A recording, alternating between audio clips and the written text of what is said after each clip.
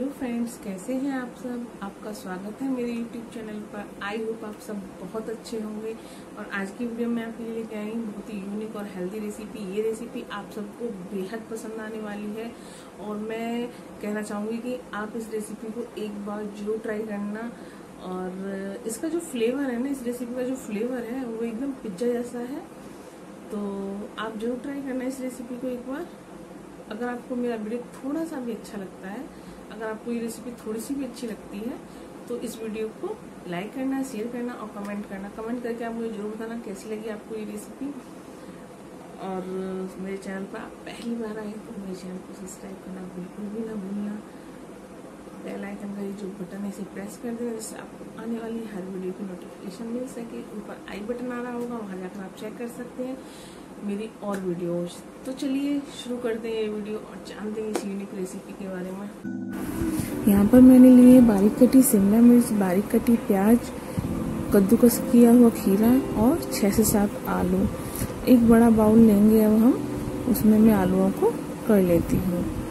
और अब हमें आलू को अच्छे से मैश कर लेना है। मैं यहाँ पर आलू हाथ से ही मैश कर रही हूँ। हाथों से करने से ये फ़ायदा रहता है कि वो अच्छे से मैश हो जाते हैं। और इसमें गुठली ना बचे, इस तरीके से हमें मैश करना है। देखिए।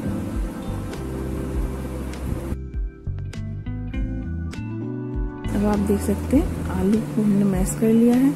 अब यहाँ पर हम ऐड करेंगे कद्दूकस किया हुआ खीरा, बारीक कटी हुई प्याज और बारीक कटी हुई शिमला मिर्च। हमने खीरे का जो पानी है उसे निकाल दिया है। पानी इसलिए निकाल दिया क्योंकि अगर पानी रह जाएगा तो फिर जो आलू का पेस्ट है, वो पतला हो जाएगा। तो इसलिए हमने खीरे का जो पानी है, वो उसे निकाल दिया है। देखिए, अब यहाँ मैं ऐड करूँगी इसमें। ये दरदरी, काली मिर्च, मैंने इनको दरदरा पीसा है। और ये भुना जीरा पाउडर। ये आधा चम्मच नमक। आप अपने स्वाद अनुसार रख सकते हैं नमक। ये आधा चम्मच लाल मिर्च पाउडर। अब हम इन सबको अच्छे से मिक्स कर लेंगे, जिससे मसाले सारे अच्छे से मिक्स हो जाएँ। अब देखिए।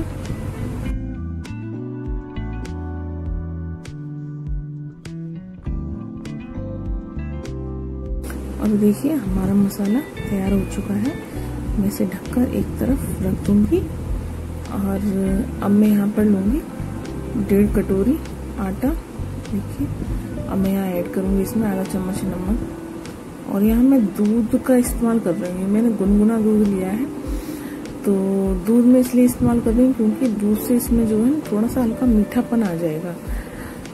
तो देखिए, और आटे को हमें ऐसे ही गूँथ लेना है जैसे नॉर्मल आटे को हम गूँथते हैं। से पानी की सहायता से आटे गूँथ लेना है।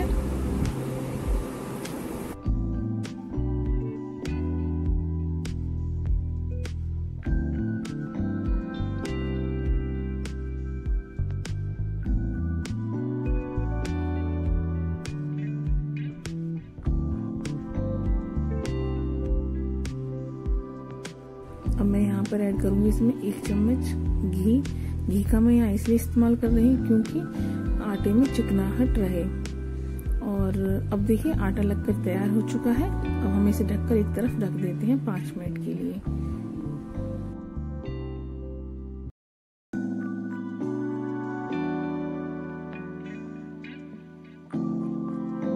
गैस पर पैन को रख लेते हैं और इसमें ऑयल कर लेते हैं।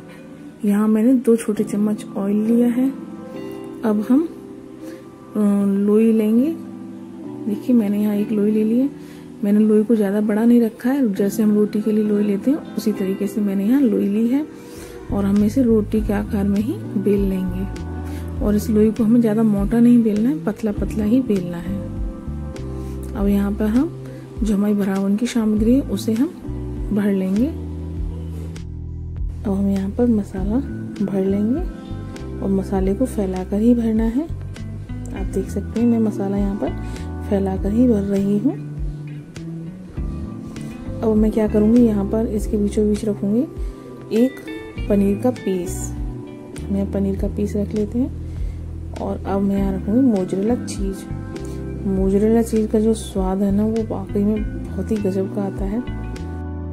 हम इसको फोल्ड कर लेते हैं। देखिए मैं ऐसे फोल्ड कर रही हूँ। आपको इसी तरीके से इसे फोल्ड कर लेना है। देखिए, मैंने इसे अच्छे से फोल्ड कर लिया और इसे हम गोल का आकार दे देंगे। देखिए, ऐसी मैं सारी कचौड़ियाँ तैयार कर लूँगी इसकी। देखिए, आप देख सकते हैं। ऐसे ही हम सारी कचौड़ियाँ तैयार कर लेंगे। तो फ्रेंड्स, आप वीडियो को एंड तक देखना। और आप मुझे कमेंट करके ज़रूर बताना कि आपको यह रेसिपी कैसी लगी, आपको इसमें क्या अच्छा लगा और क्या बुरा लगा। आप मुझे ज़रूर बताना।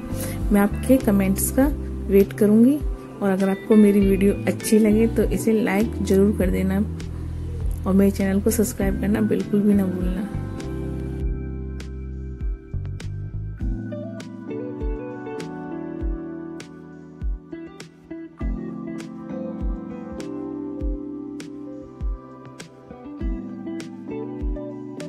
अब आप देख सकते हैं दोस्तों, ये कचौड़ियाँ बनकर तैयार हो चुकी हैं और अब मैं इनको सेक लेती हूँ।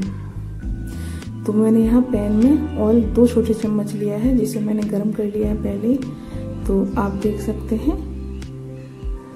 और हमें कचौड़ियाँ स्लो फ्लेम पर ही सेकनी है, क्योंकि स्लो फ्लेम पर सेकने से एक अंदर जो चीज़ बना हुआ, वो भी अच्छे से पिघलेगा और कचौड़ियाँ भी गोल्डन ब्राउन और कुरकुरी सेकेंगी। अगर हम फ्लेम तेज़ कर देंगे तो कचौड़ियाँ जल जाएँगी और ना ही चीज़ ठीक से पेल अब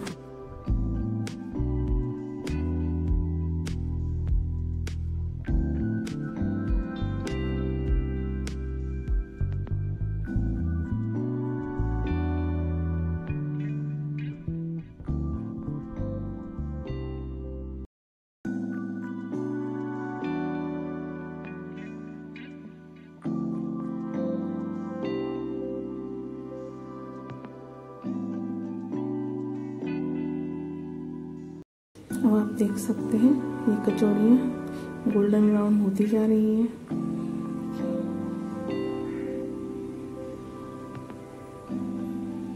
हम इन्हें ऐसे ही सेक लेंगे।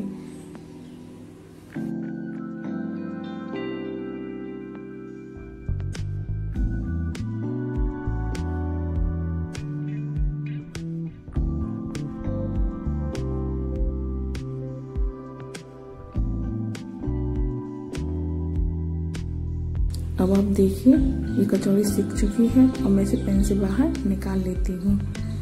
तो आप देख सकते हैं।